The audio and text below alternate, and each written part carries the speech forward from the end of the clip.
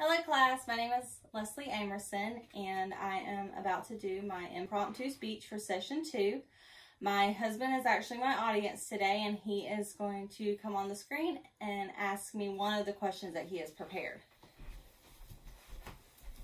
Hello. One of the questions that I want to ask you is what is your favorite dog breed? My favorite dog breed would definitely have to be miniature dachshunds. Three reasons that I think miniature dachshunds are one of the best breeds is number one, their size, um, number two, their colors, and number three, their loyalty and lifespan. Um, as far as a miniature dachshund for their size, they are great for small places or apartments, and me and my husband own a tiny house, so they're perfect for us.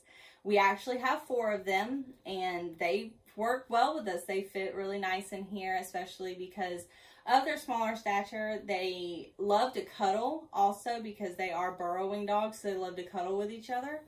Um, the second reason would be because of their colors. Our dachshunds actually are all different colors. None of our dachshunds look the same. We have a traditional black and tan uh, dachshund, and then we have two dachshunds that are called brindle dapples, which means they're white and brown swirled and then we have one that's called a silver dapple, which is um, black and tan with silver colors all over her. Um, they're all females. um, the third reason would definitely have to be their lifespan and loyalty. Dachshunds have a very long lifespan. They can live up to 18 to 20 years if they're taken care of very, very well. This lifespan also leads to them being fiercely loyal to their owners.